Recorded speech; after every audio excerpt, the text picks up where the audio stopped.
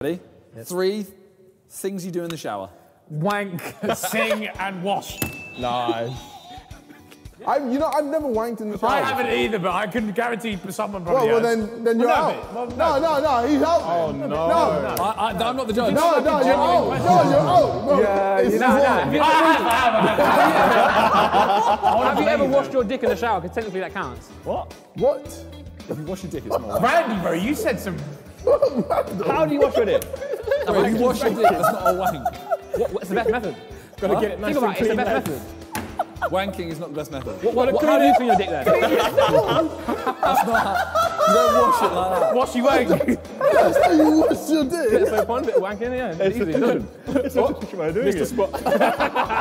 Listen, I, I come and I wash. I don't come. So you, you literally blue balls yourself. I don't come. I you, I don't come. I wank, but I won't. I don't come. I won't. I don't come. It's not, it's not for pleasure, it's just the action is.